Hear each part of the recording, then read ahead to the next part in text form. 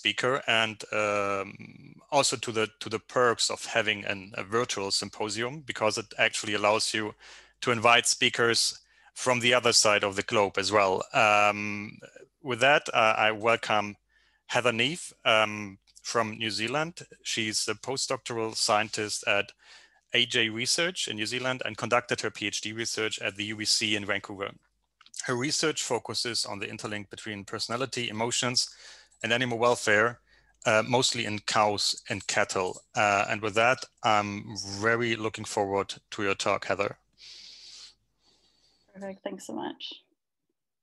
And yeah, good morning to everyone. And I don't know if there's anyone in the in the audience that needs a good evening, but good evening if there is someone. All right, one second.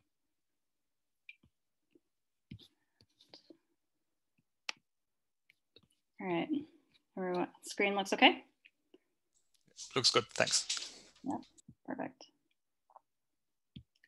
All right, so thanks so much for the introduction. Um, yeah, so uh, for today, I'll be presenting some of the work that um, I've been doing in the, the area of personality in, in dairy calves, dairy cows, and um, dairy goats, um, both while during my time um, at Ag Research here, and then also from my, my PhD um, at the University of British Columbia.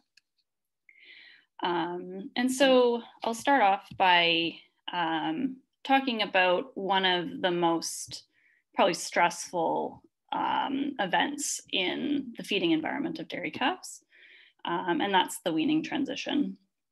Um, and so this is a time when when the calves need to go from um, a primarily, well, entirely milk-based diet onto an entirely solid feed diet. Um, and so this transition requires them to completely relearn their feeding environment. They need to find a new food source, then they need to learn to eat it. Um, and so what this um, this response to weaning most often looks like is um, what I'm showing here in this graph, um, where I'm showing the, the grain intake over time.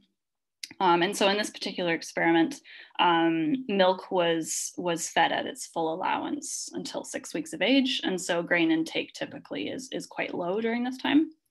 Um, and then the when milk is reduced, we see grain intake increases quite rapidly. And so this, this response here is um, usually typical of what we would see in, in a group of calves that are being weaned. But here is what is average for, for the group um, and what I find particularly interesting is if we actually overlay what each individual calf is doing. And we start to see a, um, quite a different story where there's a number of calves that really aren't at all close to the average. We see some calves are doing really well, and then ones that are, are doing quite poorly. And so this kind of typical um, weaning program that's uh, one size fits all, so to speak, really isn't working, um, particularly for the ones that that are taking to grain quite late. And so why is this, why do we see this type of variability? And these calves are all managed in the same environment, same social group, same nutritional environment. And so yet we see this variation. And so um, I was quite interested in trying to understand if there's um, some aspect to the personality of the animal that is contributing to this. And so um, before I continue on, I just like to give a definition for uh, animal personality. And this is most typically broadly defined in the literature as consistent individual differences in behavior. And this is this these behaviors are consistent across time and across situations. Um, and so another aspect of, of this is a personality trait. And so this is a specific aspect of the animal's behavioral repertoire that's also consist that is consistent within the individual. And so the way that is most often that we measure personality uh, in calves, but also commonly in other farm animals, is how they respond to situations that are novel. And so there's some examples here. Um, so we typically would have um, uh, a separate testing arena where the animal's tested in a new environment with a new object or with a new human. Uh, and so what we do is we score how these animals respond in these situations. And so you can see here, we have two very different responses to the same situation. And so the calf on the left, uh, we would classify um, this calf as being a more fearful calf. And then the one on the right, obviously a, a more interactive and playful calf. And so uh, these tests, these same tests we did um, when they were quite young, as you can see in these videos, and then we retested them at three other time periods in their life.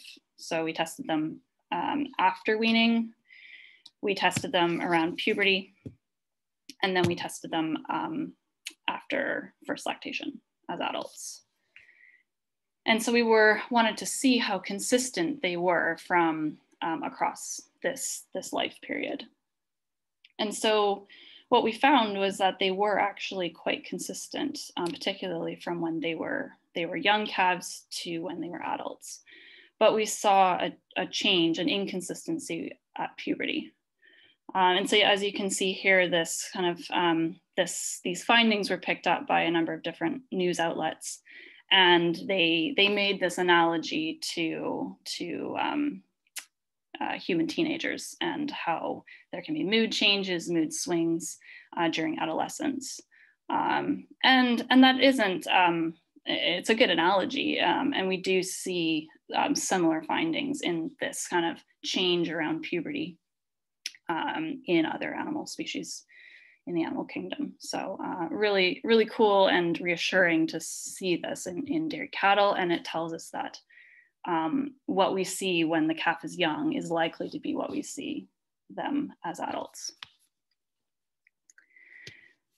And so now that we know that these traits um, are consistent in, in these, these calves, and so we, we can be more confident to refer to them as a personality trait, um, what can they tell us about how these calves are going to behave and perform? Um, and I'm going to focus on, in this case, the first um, couple weeks of their life in that for that first calf rearing period.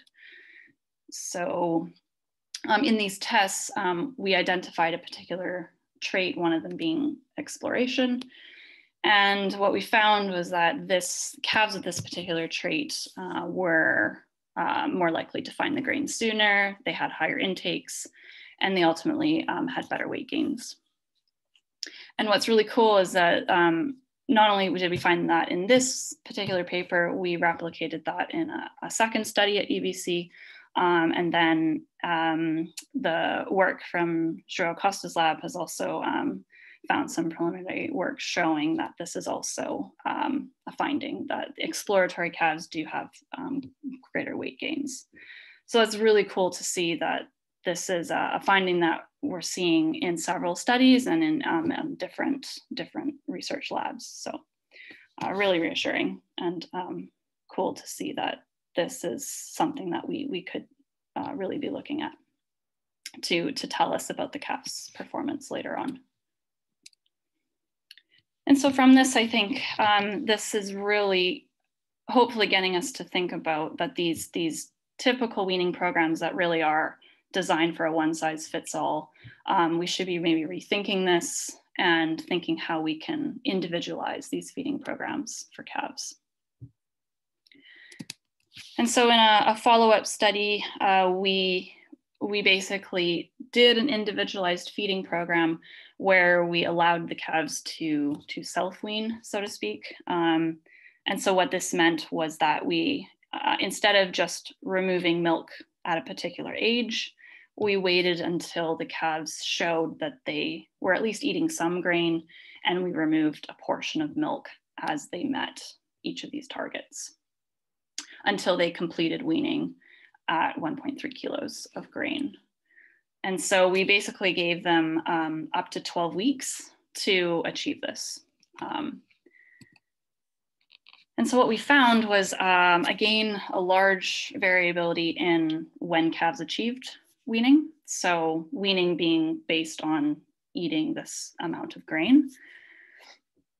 And so you can see we had um, a couple calves that just completely missed the mark, didn't didn't get that they that they needed to wean. So part of that program, we did reduce the milk initially at the beginning, and that kind of gets gets them going on to eating grain. And these calves just did not respond to that that initial milk removal, and just continued to drink milk right to the end until we basically had to force wean them. And then on the other end of the spectrum, the calves in the green, they were the ones that generally um, uh, responded to this, this change in their feeding environment. They responded to that um, initial slight milk removal and uh, weaned within nine weeks. So, um, and so it's it's these calves that are successfully responding to a change in their environment and responding appropriately that I think these characteristics of these calves would be really useful to identify from an early age. And so, is there something particular that we can identify, a behavioral characteristic, um, something from the grain intake, perhaps in the first, first few weeks that we could flag initially? And then we could use that to tailor our weaning programs. And so we um, did a, a series of, of, of, tests to characterize these calves right from the moment they, they hit the ground. So their vitality at birth, um, their sucking and, and drinking ability in day one of life. We measured their learning ability, so how long it took for them to learn to drink on their own from the automated milk feeder. And then we did the series of personality tests that I, I uh, just mentioned. And so um, what we did was then we looked at to see how those characteristics um, related back to when they actually completed weaning. And one of the main findings we found was that those calves that were the slow, what we labeled the slow learners, the ones that took a long time to to figure out the the feeder. And when I say a long time, um, uh, one of the, the the longest times was two weeks to learn to use this milk feeder. So that meant that every day, twice a day, we had to come and show the calf, here's the milk feeder, otherwise they wouldn't drink. Um, whereas on average, typically a calf would learn that in a couple days. Um, and so you can imagine from a practical perspective, a farmer really doesn't want to be showing up every day for two weeks to teach this calf, push it into the feeder and, and to learn. So, um, so there's something about these calves that actually we, we can learn very early on that they might also be delayed later on. And so these calves also had um, links with other types of behaviors. So they generally just didn't really come to the milk feeder, uh, weren't really interested in visiting, drinking, and didn't really come back actually after weaning, which is a behavior we typically see in calves. They really do come back to the feeder trying to get milk. And in general, they had generally low intake and um, lower weight gains. So kind of this is painting a picture of these calves that we might call them poor doers. Um, and the, the important thing and uh, the interesting thing is that we can actually, it appears we could flag these calves um, quite a bit earlier than when it actually comes to the time of weaning, when we start to realize, hey, they're actually falling behind. So we could do something about it much earlier on, I think. And so from this, uh, the learning speed uh, appeared to predict when they were able to wean. It had links with feeding behavior and performance in the calf rearing period. And so from this kind of group of work, I think it, it has us thinking, I hope it gets us thinking about um, this is one particular challenge that the calves experience in their life and we already see that some calves struggle with it and so i think it it makes me wonder how do those calves cope down the line with other transitions that certainly happen to them on the farm. And what's what is there something we can do to help these calves um, early on to cope better with these these stressful practices? And then on the other end of the spectrum, we see those calves that, as I said, are responding well to a change. They're finding a new food source when when the environment is telling them it's time. And so do these calves also cope quickly and, and well in other situations? Uh, so as I uh, said in the uh, early at the talk that I would be talking about two different species today. So I'll just switch switch gears and um, talk to you a bit about how we've used personality to um, investigate feeding environments for goats. Um, and so here I'm just uh, contrasting kind of, or not contrasting, really showing the similarities between how we manage the feeding environment of cows and goats. Um, but what I'd like to, to point out here is that really in reality, goats are not small cows and the way that they're typically managed are as if they're um, as if as if they're cows. And so the way that they're fed here is um, fed from a low surface as in, in, a grazing position. But if we look at the natural feeding environment of a goat, uh, what we see is that, of course, they are quite different from cows in the sense that they're uh, climbing trees to get to their to get to their feed. Uh, they're, they're at different feeding heights really uh, trying to access their feed from a range of different heights. So they're classified as browsers as well as grazers. Uh, but yet we don't really offer those opportunities in, in commercial farm systems. Uh, so what uh, the question that we asked was whether we could provide this opportunity for goats by, by elevating the feed bunk for them. And so we offered them these three different feeding heights. We asked them whichever one they wanted to feed from. Uh, and we were interested to see what um, their behavior and feed intake looked like at these different feeders. And so what we did find was that they, they did use the elevated feeders, and in fact, they did eat more from these elevated feeder heights. And then I think what's, what's really fascinating is looking specifically at the feeding time at these three different feeders and how variable um, the goats were and how much time they spent at the feeders, uh, ranging from just 10 minutes all the way up to 40 minutes. And in particular, you can see that some goats are very consistent in the time that they spend at the three different heights. And then others are, are more variable. And I think that's an interesting finding in itself because you could potentially think of these three feeder heights as different feeding environments. And so how flexible uh, these, these goats are, are they changing their behavior because something's different about these different feeder heights?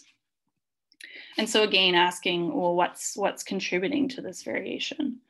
Um, and so we um, asked the question of whether personality would be we contributing to this behavior. And so uh, here I'm showing a situation where we, we basically created a competitive feeding environment.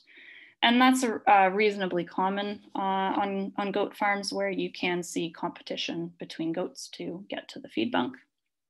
And so here I'm going to show you the what, what you see in terms of this competition at the two feeders. And then also maybe take note of if there's particular individuals that you see um, consistently behaving a certain way.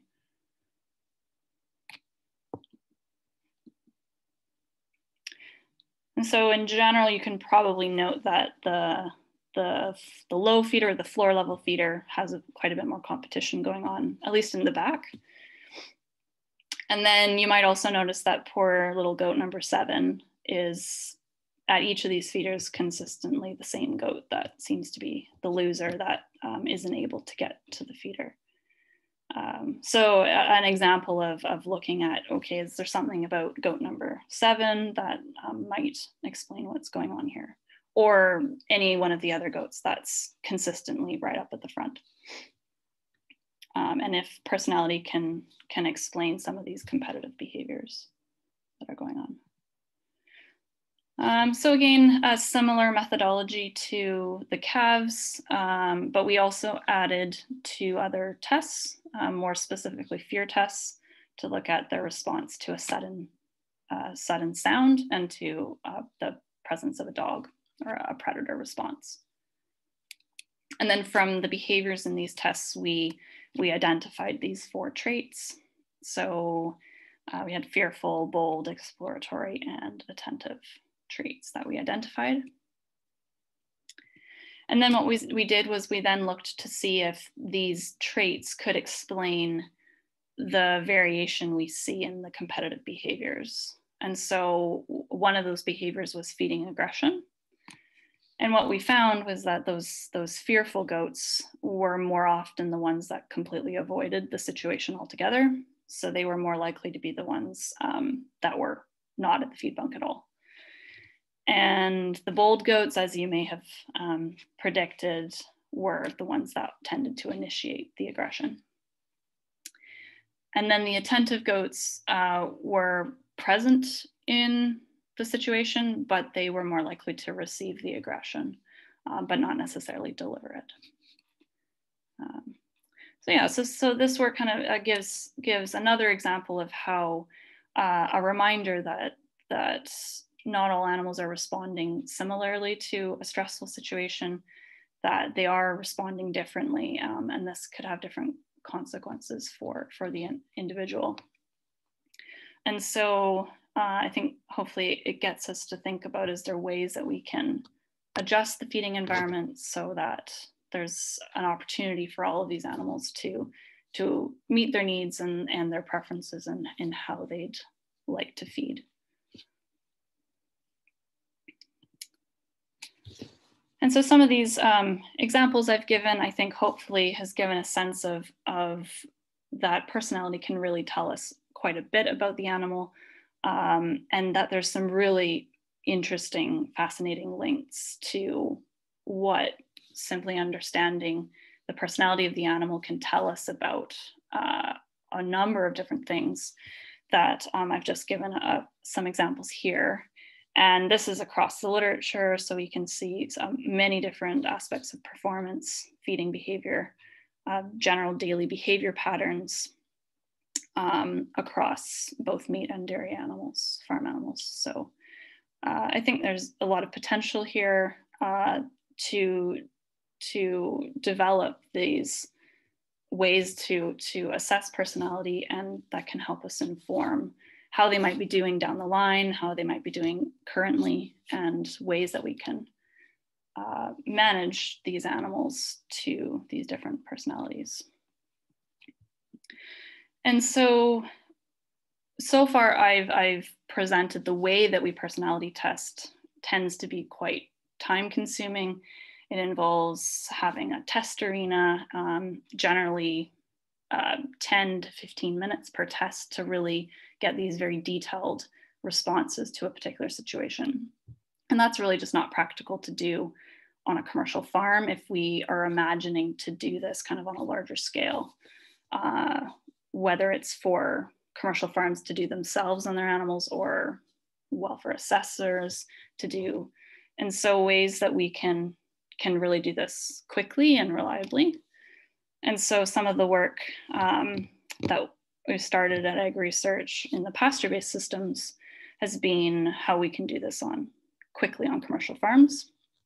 And so these three tests here, we, we did on 30 commercial farms around New Zealand. And the tests were designed to be a maximum of 30 seconds. They didn't interrupt the milking flow um, and really required just a, a, a, period of time around milking that someone could do these tests. So, um, and we did find that these tests were related to the, the behavior patterns of, of the cows in the paddock, and then also linked to milk production. So, and we did in another study look at um, a fourth test uh, reflecting the, the beef cattle literature restraining in a crush, but this just isn't really practical to do for a large number of cows without holding up holding up the, the herd. So, uh, so that's why we went with these, these three.